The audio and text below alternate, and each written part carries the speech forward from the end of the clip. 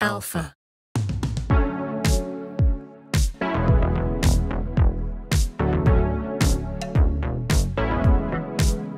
All of these shots were captured using one same lens. The lens in question is the Sony 10-20G. For anyone looking to get started with filmmaking, this is a great lens to pair with the FX30 for a lightweight, compact setup that's also very versatile. One of its greatest strengths is a constant adjustable zoom speed.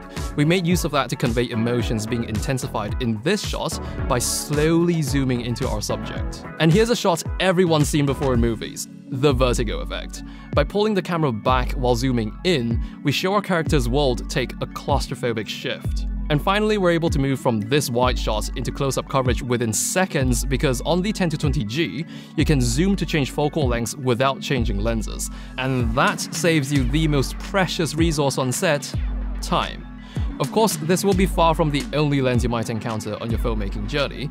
As you find your cinematic vision, you'll be venturing into different focal lengths and exploring prime lenses to express yourself. But this here, it's a great place to start. Sony.